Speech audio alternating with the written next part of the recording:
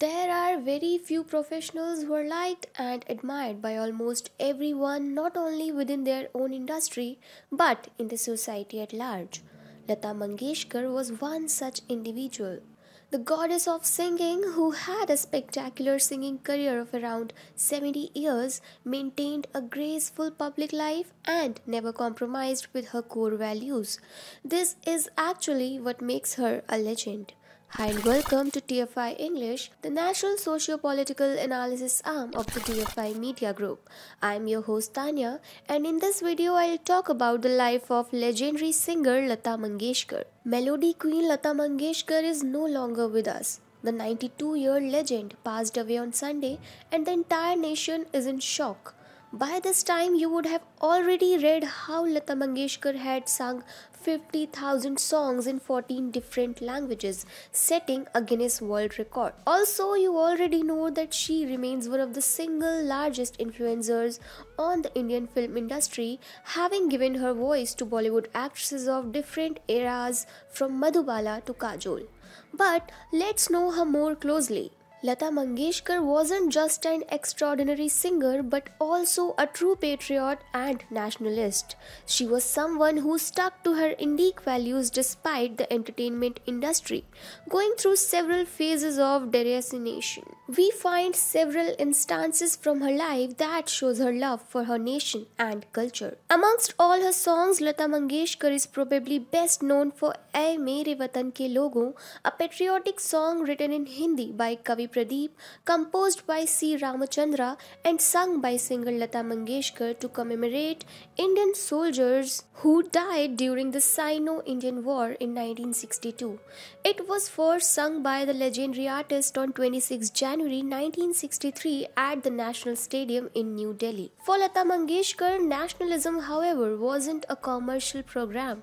She didn't use it for hogging the limelight as an artist. She internalized it. In fact, she wore patriotism on her sleeves, even if it meant upsetting some influential sections of the society. In September 2019 she even tweeted Veer Savarkar ji और हमारे परिवार के बहुत घनिष्ठ संबंध थे। इसलिए उन्होंने मेरे पिताजी की नाटक कंपनी के लिए नाटक संन्यास्त खड़ग लिखा था। इस नाटक का पहला प्रयोग 18 सितंबर 1931 को हुआ था। इस नाटक में से एक गीत बहुत लोकप्रिय हुआ। Veer Savarkar and my family has deep connections. That's why he wrote a play Sanyast Khadag for my father's theatre company. The play first launched on 18 September 1931. The song tagged in the tweet, Veer Savarkar and my family has deep connections. That's why he wrote a play Sanyast Khadag for my father's theatre company.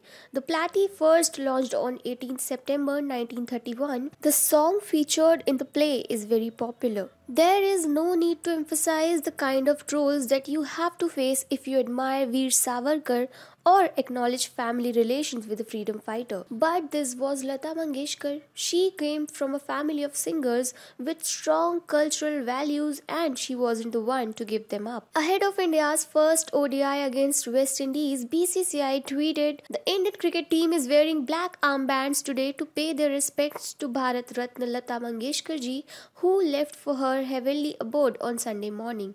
The Queen of Melody, Lata Didi loved cricket, always supported the game and backed Team India. Now, this wasn't merely symbolic. Lata Mangeshkar has been one of the most generous supporters of the Indian cricket fraternity, which was a corollary of her wish to see India do well at the international level. In 1983, the legendary singer had even performed at a fundraising concert for the 1983 World Cup winning team without charging even one rupee for it. The concert was, of course, successful given Lata Mangeshkar's incredible popularity.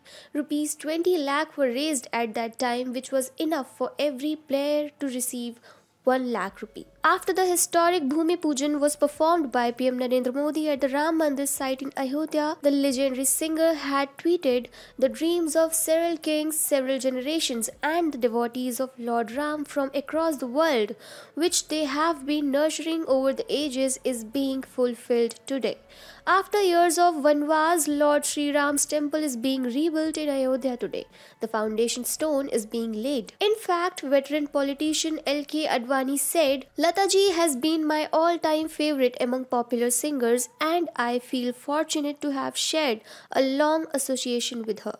I recall the time when she recorded a beautiful Sri Ram bhajan and sent it to me when I was about to undertake my Ram Rath Yatra from Somnath to Ayodhya. That memorable song Ram नाम में जादू वैसा राम नाम मन भाए मन की अयोध्या तब तक सुनी जब तक राम न आए became the signature tune of my yatra. Lata Mangeshkar remained an epitome of grace throughout her life. Unlike many singers of the present era, she never turned into a performer. Lata Mangeshkar has passed away, but she continues to represent the great Indian culture of music and singing in the way she sung and the way she carried herself in public life.